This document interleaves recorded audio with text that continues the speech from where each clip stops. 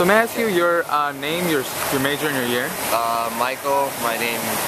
I'm sorry. Whoa, now I'm all like flustered. Uh, Michael, I'm a sophomore, um, and I'm a fine arts major. Okay.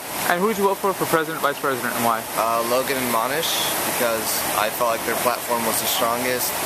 Um, she came to our house every day and just discussed the plans, and she, I think she had the most realistic plans. Monish and Logan, and so I don't know. And And- my my house personally endorsed them. And who did you vote for for uh, vice? Uh, I'm sorry, senator, and why? Uh, I voted for Greek Senator Cody Rapp, Chris McCall, and Hal Wright.